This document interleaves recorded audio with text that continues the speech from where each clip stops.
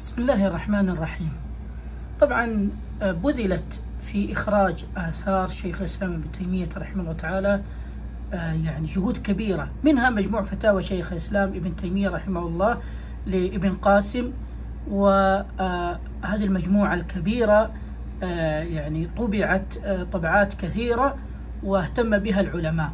ثم جزاهم الله خيرا يعني الشيخ الشيخ علي العمران حفظه الله المشرف على إخراج آثار شيخ الإسلام ابن تيمية وابن القيم والمعلمي والشنقيطي عملوا على إخراج جامع المسائل وهي تسعة مجلدات.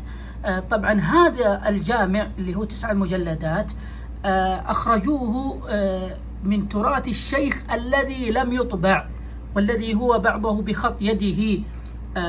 من غير مجموع طبعا فتاوى شيخ الاسلام ابن تيمية. فجزاهم الله خير على هذا الجهد المبارك يعني. أوصيكم بتسع مجلدات تحقيق طبعا الشيخ محمد عزير شمس الشيخ البح... المحقق البحاثة محمد عزير شمس حفظه الله تعالى. وأيضا حقق المجلد السابع الشيخ علي العمران ثم المجلد الأخير الشيخ عبد الرحمن ابن قائد حفظه الله.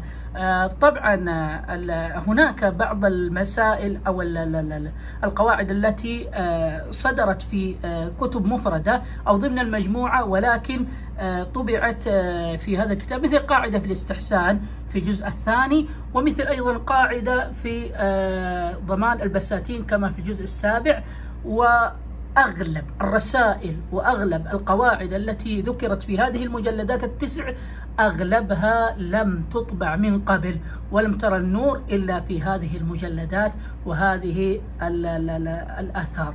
فنسأل الله سبحانه وتعالى أن يجزي الشيخ علي العمران والمشايخ المحققين الذين يشرفون على هذه التحقيقات العظيمة وهذه الآثار ليخرجوها لطلاب العلم يروها بأعينهم ويقرؤونها ويتصفحون وينتفعون بها. نسأل الله أن ينفع بها.